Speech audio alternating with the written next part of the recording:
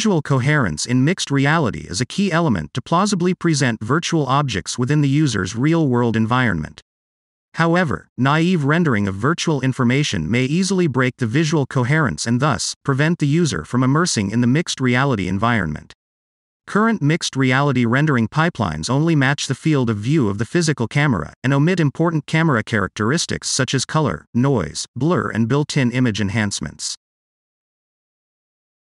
We present a series of networks for increasing the visual coherence for video based mixed reality applications.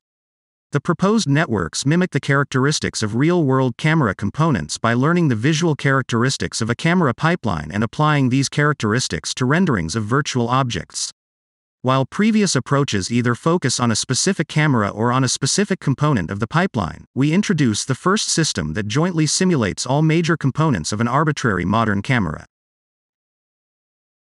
In our method, a traditional rendering approach using a pinhole camera provides an initial rendering within a calibrated color space. We then apply three networks as a post rendering process within the overall rendering pipeline. The series of networks map the calibrated rendering of virtual content to the displaying color space by introducing the unique characteristics of the physical camera, such as blur, color tone mapping, and noise to the rendering.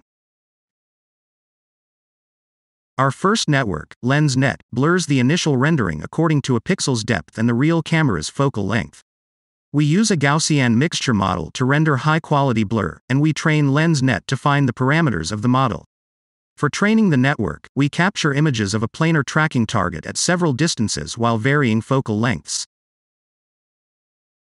We add noise to the initial rendering and we map rendered colors to the color space of the real camera, in order for them to match the appearance of a captured object.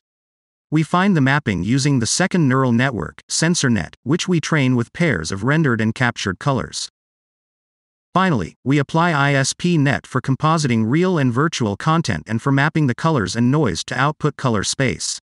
We train the neural network using a dataset of raw and output image pairs, so that the network could learn the behavior of the camera image signal processor.